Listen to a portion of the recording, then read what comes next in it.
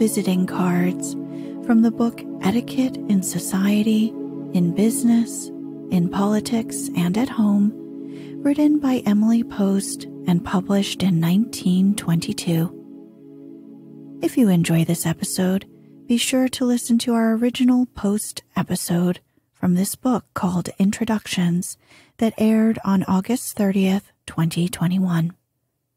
A visiting card is a small card used for social purposes. Before the 18th century, visitors making social calls left handwritten notes at the home of friends who were not at home. By the 19th century, men and women needed personalized printed calling or visiting cards to maintain their social status or to move up in society. Visiting cards became an indispensable tool of etiquette with sophisticated rules governing their use.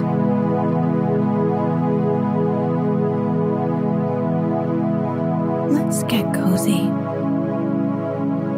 Close your eyes.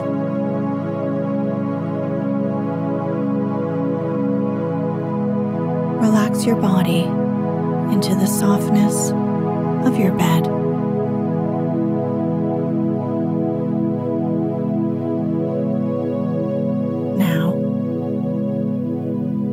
Take a few deep breaths.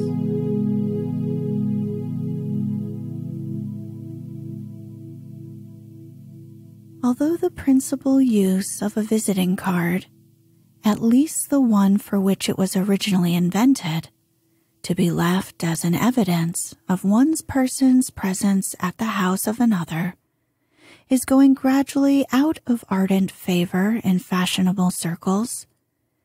Its usefulness seems to keep a nicely adjusted balance.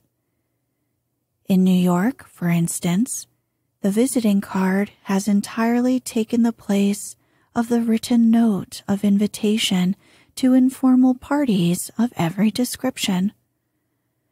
Messages of condolence or congratulation are written on it. It is used as an endorsement in the giving of an order. It is even tacked on the outside of express boxes. The only employment of it which is not as flourishing as formerly is its being left in quantities and with frequency at the doors of acquaintances. This will be explained further on. The visit of empty form. Not so many years ago, a lady or gentleman, young girl or youth, who failed to pay her or his party call after having been invited to Mrs. Social Leader's ball was left out of her list when she gave her next one. For the old fashioned hostess kept her visiting list with the precision of a bookkeeper in a bank. Everyone's credit was entered or canceled according to the presence of her or his cards in the card receiver. Young people who liked to be asked to her house were apt to leave an extra one at the door on occasion so that theirs should not be among the missing when the new list for the season was made up, especially as the more important old ladies were very quick to strike a name off, but seldom, if ever, known to put one back. But about 20 years ago, the era of informality set in and has been gaining ground ever since. In certain cities, old fashioned hostesses, it is said, exclude delinquents. But New York is too exotic and intractable, and the too exacting hostess is likely to find her tapestried rooms rather empty, while the younger world of fashion flocks to the crystal fountained ballroom of the new Speakeasy Westerns. And then, too, life holds so many other diversions and interests for the very type of youth which of necessity is the vital essence of all social gaiety. Society can have distinction and dignity without youth, but not gaiety. The country, with its outdoor sports, its freedom from exacting conventions, has gradually deflected the interest of the younger fashionables, until at present they care very little whether Mrs. Toplofty and Mrs. Social Leader ask them to their balls or not. They are glad enough to go, of course, but they don't care enough for invitations to pay dull visits and to live up to the conventions of manners that old fashioned hostesses demand. And as these rebels are invariably the most attractive and the most eligible youths, it has become almost an issue. A hostess must, in many cases, either invite none but older people and the few young girls and men whose mothers have left cards for them, or ignore convention and invite the rebels. In trying to find out where the present indifference started, Many ascribe it to Bobo Gilding, to whom entering a great drawing room was more suggestive of the daily afternoon tea ordeal of his early nursery days than a voluntary act of pleasure. He was long ago one of the first to rebel against old Mrs. Toplofty's exactions of party calls by saying he did not care in the least whether his great aunt Jane Toplofty invited him to her stodgy old ball or not. And then Lucy Wellborn, the present Mrs. Bobo Gilding, did not care much to go either if none of her particular men friends were to be there. Little she cared to dance the cotillion with old Colonel Bluffington, or to go to supper with that odious Hector Newman. And so, beginning first with a few gilded youths, then including young society, the habit has spread until the obligatory paying of visits by young girls and men has almost joined the once universal day at home as belonging to a past age. Do not understand by this that visits are never paid on other occasions. Visits to strangers, visits of condolence, and of other courtesies are still paid, quite as punctiliously as ever. But within the walls of society itself, the visit of formality is decreasing. One might almost say that in certain cities, society has become a family affair. Its walls are as high as ever, higher perhaps to outsiders, but among its own members, such customs as keeping visiting lists and having days at home, or even knowing who owes a visit to whom, is not only unobserved, but is unheard of but because punctilious card leaving, visiting, and days at home have gone out of fashion in New York, is no reason why these really important observances should not be, or are not, in the height of fashion elsewhere. Nor, on the other hand, must anyone suppose that the younger fashionables in New York pay few visits and never have days at home, that they are a bit less careful about the things which they happen to consider essential to good breeding. The best type of young men pay few, if any, party calls because they work and they exercise, and whatever time is left over, if any, is spent in their club or at the house of a young woman, not tete a tete, but invariably playing bridge. The Sunday afternoon visits that the youth of another generation used always to pay are unknown in this, because every man who can spends the weekend in the country. It is scarcely an exaggeration to say that not alone men, but many young married women of highest social position, except to send with flowers or wedding presents, do not use a dozen visiting cards a year. But there are circumstances when even the most indifferent to social obligations must leave cards. When cards must be left. Etiquette absolutely demands that one leave a card within a few days after taking a first meal in a lady's house. Or, if one has for the first time been invited to lunch or dine with strangers, it is inexcusably rude not to leave a card upon them, whether one accepted the invitation or not. One must also unfailingly return a first call, even if one does not care for the acquaintance. Only a real cause can excuse the affront to an innocent stranger that the refusal to return a first call would imply. If one does not care to continue the acquaintance, one need not pay a second visit.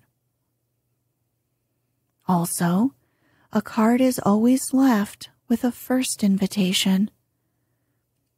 Supposing Miss Philadelphia takes a letter of introduction to Mrs. Newport. Mrs. Newport, inviting Miss Philadelphia to her house, would not think of sending her invitation without also leaving her card. Good form demands that a visit be paid before issuing a first invitation. Sometimes a note of explanation is sent asking that the formality be waived, but it is never disregarded, except in the case of an invitation from an older lady to a young girl.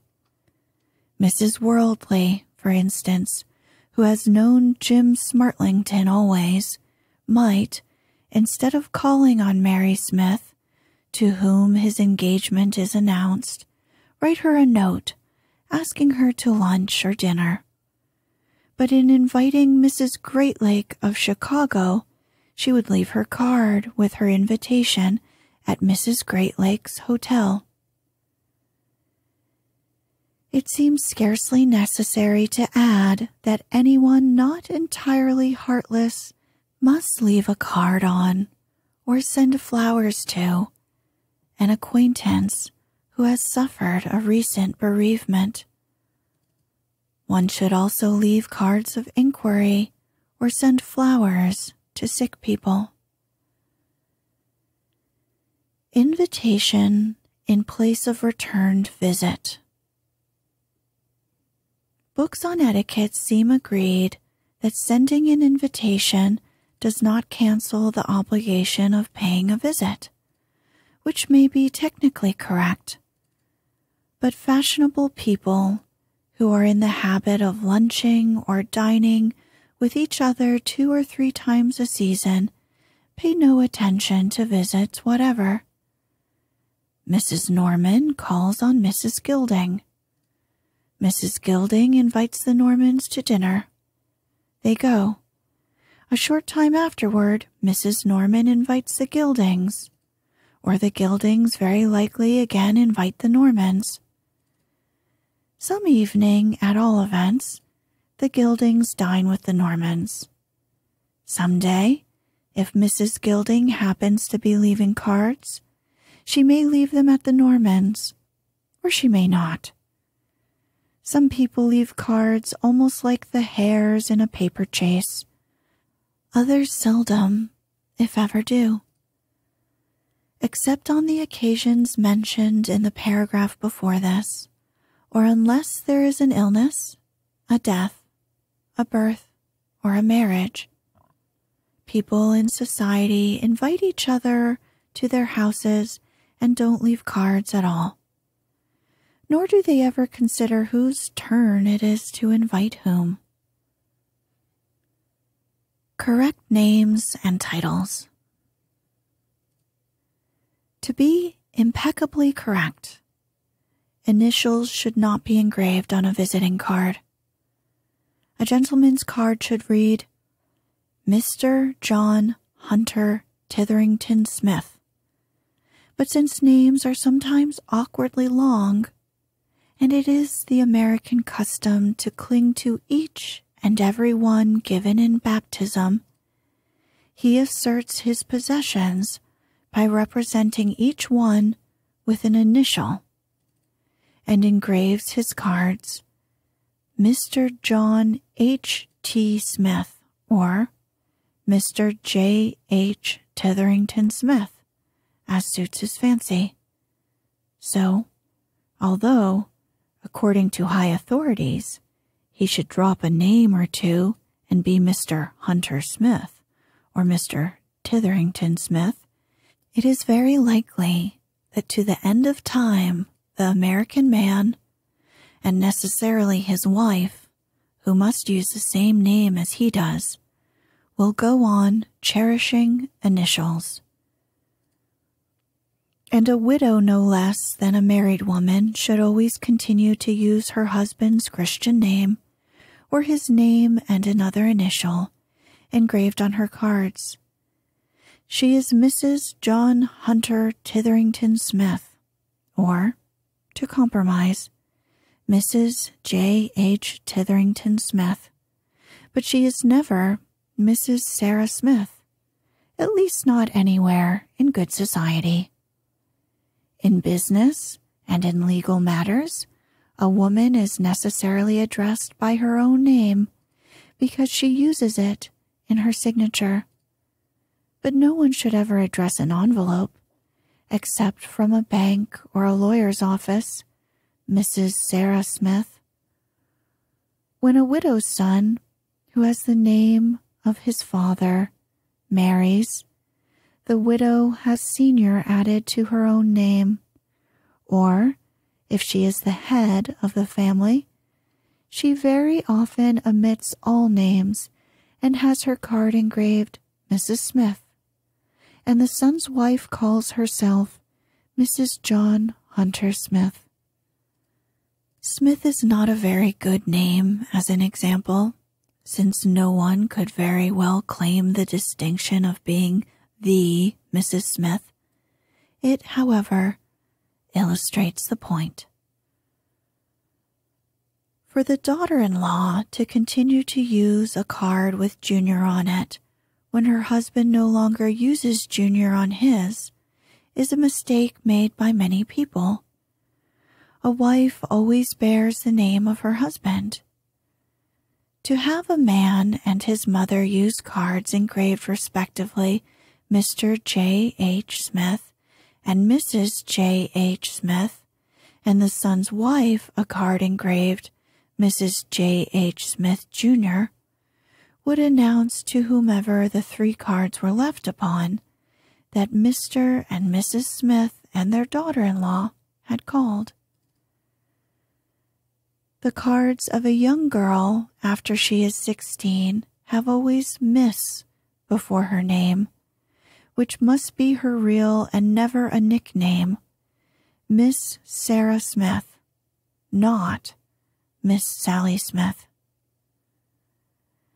The fact that a man's name has Junior added at the end in no way takes the place of Mr. His card should be engraved Mr. John Hunter Smith, Jr. A woman who has divorced her husband retains the legal as well as the social right to use her husband's full name, in New York State at least.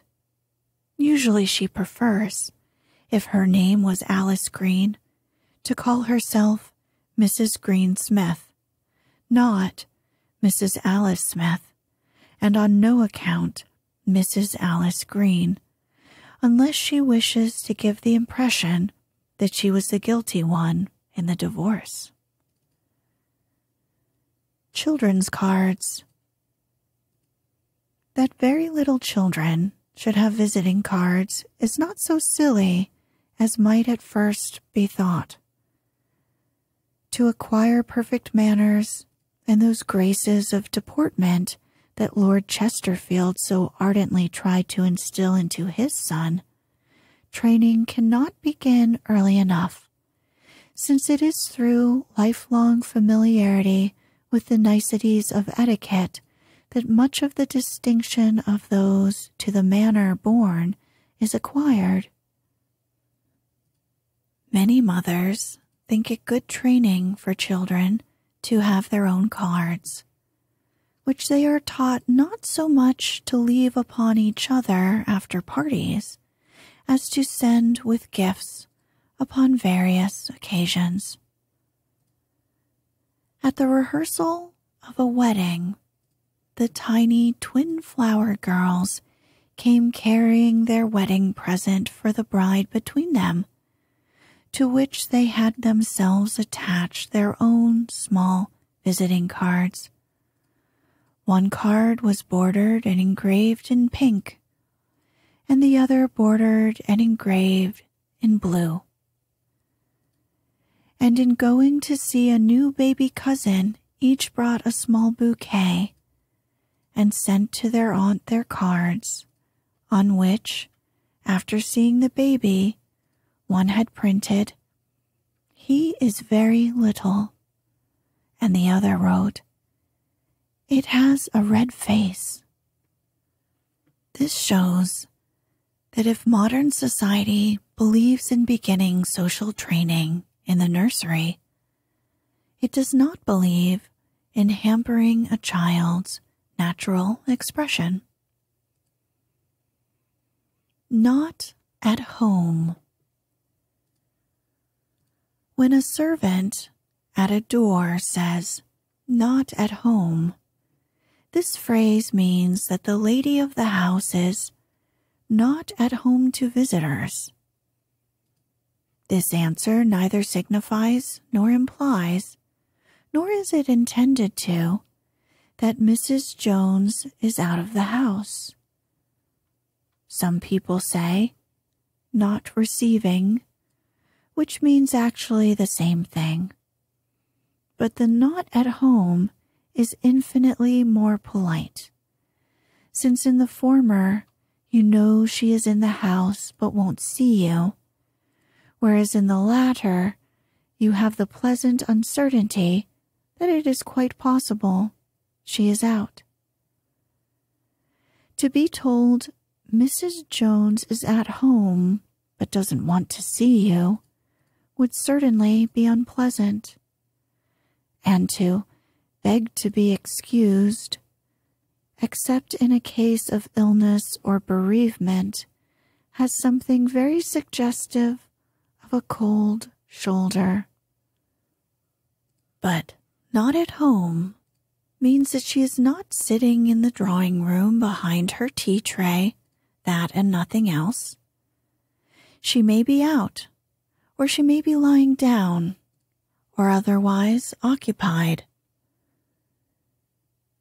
Nor do people of the world find the slightest objection if a hostess, happening to recognize the visitor as a particular friend, calls out, Do come in. I am at home to you.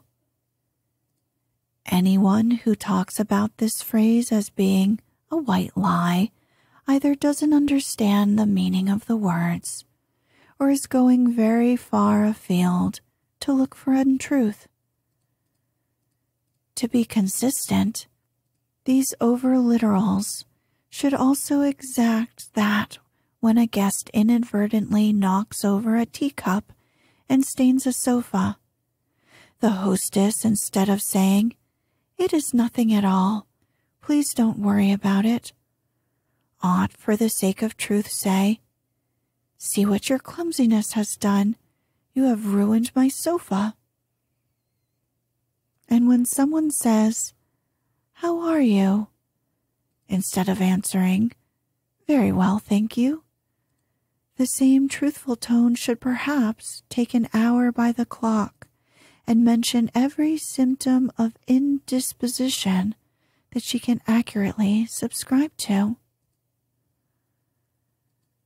While not at home is merely a phrase of politeness, to say, I am out, after a card has been brought to you is both an untruth and an inexcusable rudeness.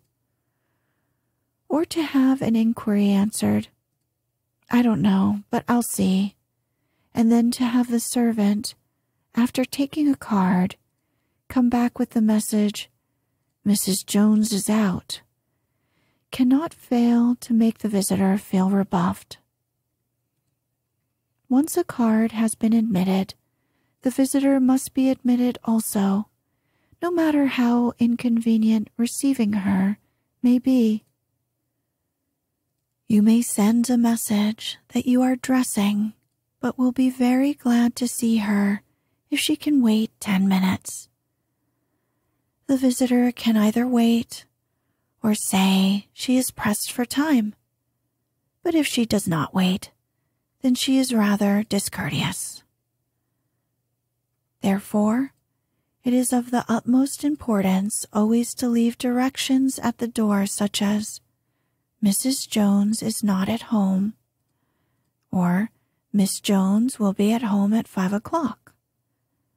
Mrs. Jones will be home at 5:30 or Mrs. Jones is at home in the library to intimate friends, but not at home in the drawing room to acquaintances. It is a nuisance to be obligated to remember either to turn an in and out card in the hail or to ring a bell and say, I am going out, and again, I have come in but whatever plan or arrangement you choose, no one at your front door should be left in doubt and then repulsed.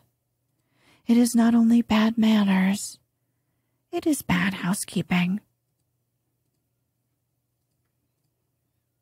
The old fashioned day at home. It is doubtful if the present generation of New Yorkers knows what a day at home is, but their mothers, at least, remember the time when the fashionable districts were divided into regular sections, wherein on a given day of the week the whole neighborhood was at home. Friday sounds familiar as the day for Washington Square and was it Monday for Lower Fifth Avenue? At all events, each neighborhood on the day of its own suggested a local fete. Ladies in visiting dresses with trains and bonnets and nose veils and tight gloves, holding card cases, tripped demurely into this house, out of that, and again into another.